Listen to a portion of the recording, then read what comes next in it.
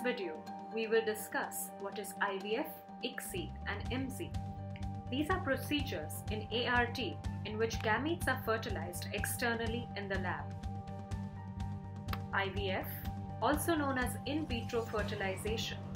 In this procedure, eggs surrounded by cumulus cell complexes are kept in media in petri dishes. These eggs are surrounded by washed and concentrated sperm. These sperm are allowed to fertilize the egg on their own.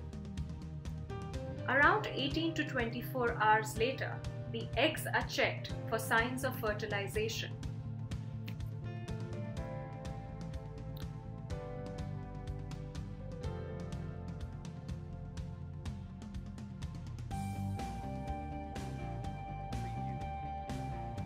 The following are the indications for ICSI.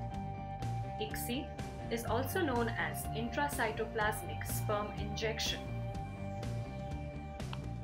In ICSI, one sperm is injected into an egg to form an embryo using a specialized microscope system. ICSI is mainly performed in male factor infertility. Similar to IVF, following ICSI, eggs are checked periodically for signs of fertilization.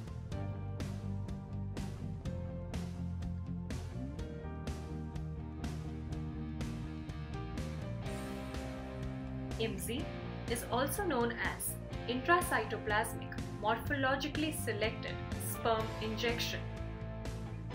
In IMSI, the sperms are magnified to up to 7200 times and they are checked for structural defects. Computer programs can be used to select the best looking sperm and then ICSI is performed with the best sperm. IMSI is mainly performed in severe morphological abnormality of sperms.